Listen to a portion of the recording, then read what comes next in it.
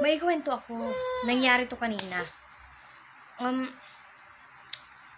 doon, pumunta kasi ako sa palengke. Gusto ko pumili ng isda. Nung bibili na ako ng isda, may lumapit na lalaki sa akin. Sabi niya, Uy, kumusta ka na? Ba't nandito ka?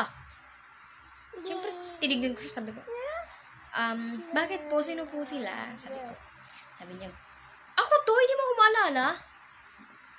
Hindi ko talaga sila ma- siya maalala eh. Sabi ko, bakit po? Sino po kayo? Ay, grabe ka naman. Hindi mo ka talaga ako maalala. Hindi talaga eh. Bakit sino po kayo? Sabi niya, Magtakatampo na ako sa'yo. Bakit lagi kang ganito? Po tuwing nung kikita tayo, hindi mo ako naaalala. Sabi ko, hindi ko kasi talaga, hindi ko talaga siya naaalala. Sabi niya. Sabi ko, hindi talaga eh. Bakit sino ka ba talaga? Sabihin mo na lang sa akin yung pangalan mo. Sabi niya sa akin, ano ka ba? Ako to! Si Natoy! Mahal na mahal ka!